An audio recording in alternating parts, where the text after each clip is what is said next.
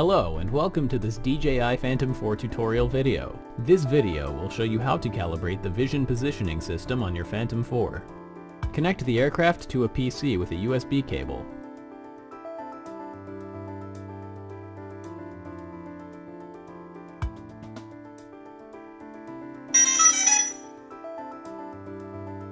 Launch the DJI Assistant 2 software.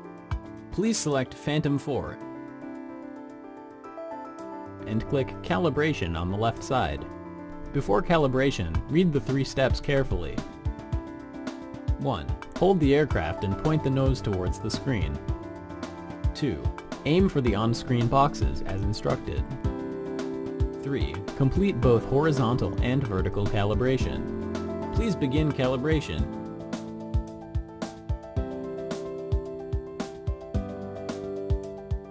Point the forward-facing obstacle sensors towards the screen and calibrate them. Position the aircraft such that the corners of the red boxes coincide with the corners of the blue boxes.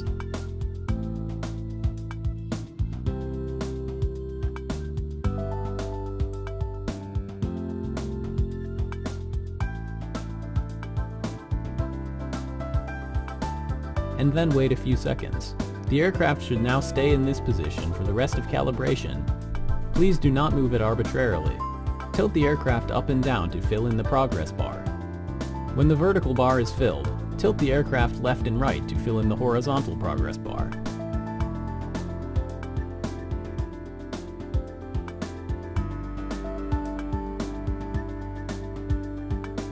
When front-facing obstacle sensor calibration is complete, now calibrate the bottom sensors.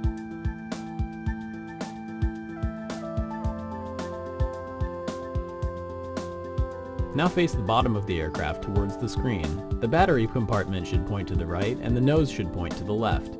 Now, calibrate the bottom cameras. With the bottom of the aircraft facing towards the screen, position the aircraft such that the corners of the red boxes coincide with the corners of the blue boxes. And then wait a few seconds. The aircraft should stay in this position for the rest of calibration. Please do not move it arbitrarily. Tilt the aircraft up and down to fill the progress bar.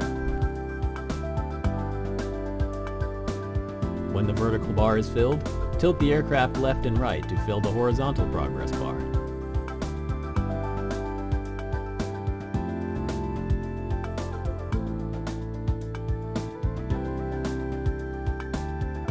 When you've finished, the software will automatically calculate and apply the calibration settings. Please ensure the Phantom 4's battery level is sufficient and the data cable is connected to the PC. After calibration is successful, please click Finish. Thank you for watching.